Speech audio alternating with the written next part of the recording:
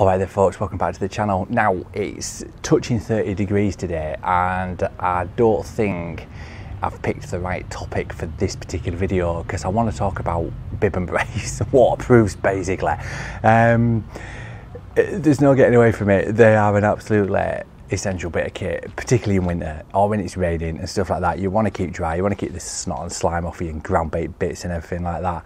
Um, but I do wear mine through summer as well, especially if I'm on a commercial and I know I'm going to be bagging up with carp. I don't want to get splattered with water. I want to keep all that off me basically. Um, and for that reason, I have two pairs that I use.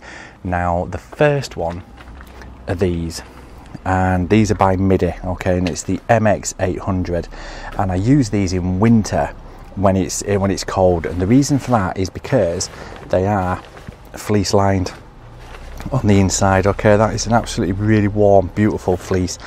Um, now, as I've said, these are waterproof as well, but not as waterproof as the next pair that I'm going to show you. Um, I can't remember the aqua rating on these, but it is something to bear in mind if you're going to be fishing out in um, it's like torrential rain and stuff like that. It, it, might be worth looking for something else and layering up underneath your bib and brace uh, before you purchase these. But I use them a lot when I'm lure fishing through winter because they keep me warm and they're light enough to walk around in and stuff like that. I don't get too sweaty. Um, so pros and cons to both. Now another little feature that I do like on these ones is this, okay, it's the external flap. It's a double flap and by that the zip is there, okay, so that goes over and that goes over there. Now you'll notice this little bit here, okay, and that is called the gutter, the rain gutter.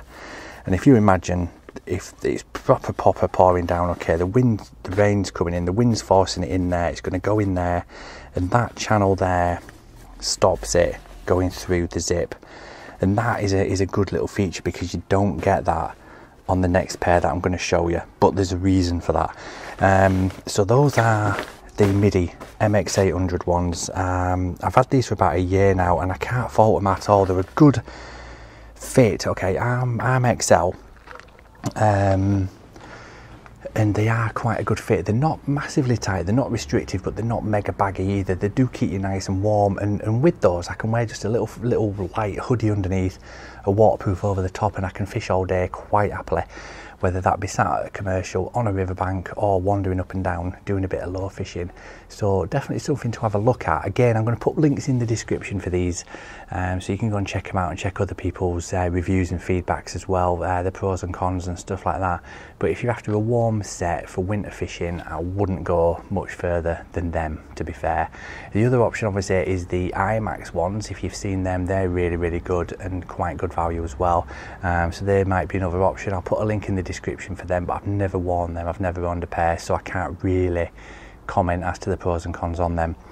Now, moving on, then, the second pair that I always wear when I don't need to be as warm but I want to keep dry, and it's these it's the Preston and it's the DF30. Okay, I've got the bib and brace, and I've also got the jacket, um, which is stuffed up there, and these are fantastic. I mean, these are the highest rated waterproof that I could find on the market at the time, and I wear these pretty much every single session through summer when I'm not fussed about being mega warm. Now, you will have heard me mention about the rain gutter on the Middy ones because it's external and it covers the zip. Now, on the Preston ones, you don't get that, but what you've got is a massive storm seal on the zip so it kind of matches right up and that is really difficult to get through. Now if, if by chance water did come through what Preston have done is actually put that rain gutter on the inside of the jacket. Now you might be thinking oh that's not an issue.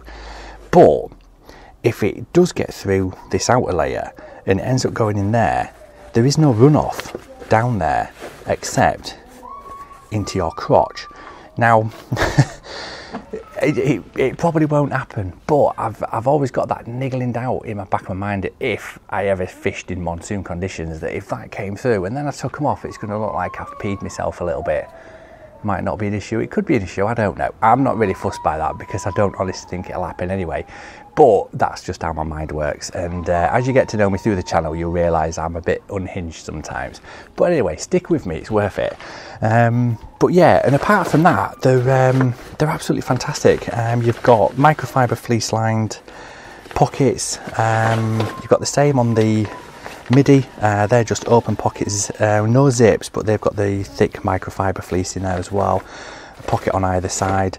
Um, strap wise, I do like the Preston setup because you've just got the one coming up the back and then it splits and they just seem to sit on the shoulders a little bit better. Um, you've got a tiny little one there with the Middy. Uh, it does a similar sort of job, but you've got two straps, and that kind of works well as well. It's it's kind of the, they've picked their own way of, of doing it. And if maybe they'd have rung each other and said, "Oh, this is what we're doing, this is what we're doing," and they'd combined both, it would have been perfect. Um, but we can't have everything, can we? Um, but yeah, I hope you've enjoyed that one. Uh, it's just a quick run through of the bib and braces that I use and why I use them. And as I said, I'll pop links in the description below, and you can go and check them out. And uh, I'll catch you all next time. Cheers.